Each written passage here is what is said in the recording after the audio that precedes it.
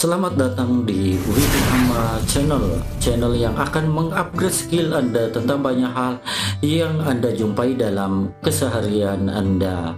Video kali ini saya akan membagikan kepada Anda sekalian yang biasa menggunakan WhatsApp web tentang cara login di WhatsApp web secara otomatis. Artinya Anda tidak perlu lagi melakukan scan barcode seperti ini setiap kali ada uh, setiap kali Anda hendak login atau masuk ke WhatsApp web. Kan yang punya akun WhatsApp kan Anda. Kok setiap kali masuk harus login sih kan gitu, Bro.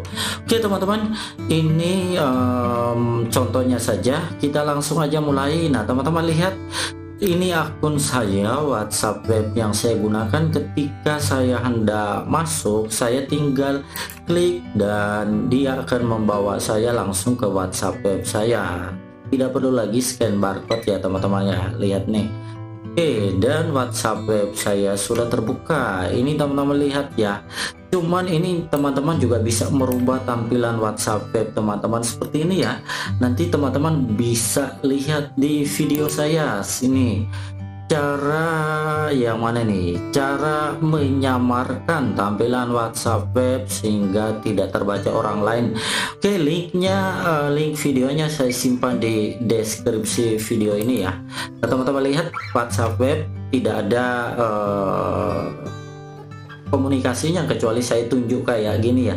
Di mana maki pak? Nah ini ini akan muncul kalau eh, teman-teman uh, tidak tidak tidak setting WhatsAppnya seperti saya ya tetap muncul otomatis. Demikian juga saya klik. Nah teman-teman lihat isinya juga terlihat blur ya. Oke teman-teman kalau mau ya dicoba aja di link videonya di deskripsi video saya. Oke langsung saja teman-teman.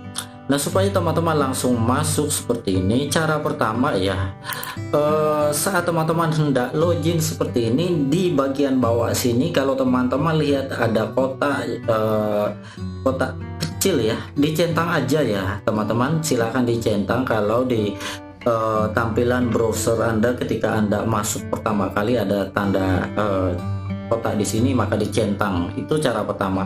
Terus cara yang kedua saat Anda gunakan WhatsApp seperti ini kalau Anda hendak masuk lagi tanpa login maka Anda tidak perlu close dari sini ya. Kalau Anda keluar dari sini maka saya jamin setiap kali Anda masuk pasti Anda diminta untuk login.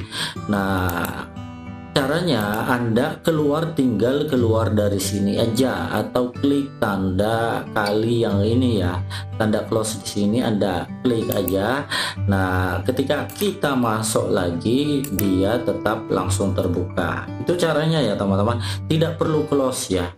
Oke, teman-teman tapi uh, tips ini saya uh, khususkan ya buat anda yang menggunakan kunci layar ya eh, baik di kantor, di PC Anda di kantor ataupun di laptop Anda, Anda kunci layarnya sehingga Anda sendiri yang mengakses laptop Anda atau PC Anda, maka Anda bisa menggunakan tips ini. Tapi kalau eh, perangkat Anda atau PC Anda di kantor biasa digunakan juga orang lain, maka sebaiknya cara ini jangan dilakukan karena orang tersebut bisa saja memasuki WhatsApp Anda. Oke teman-teman, itu saja uh, video yang bisa atau informasi yang bisa saya bagikan pada video kali ini.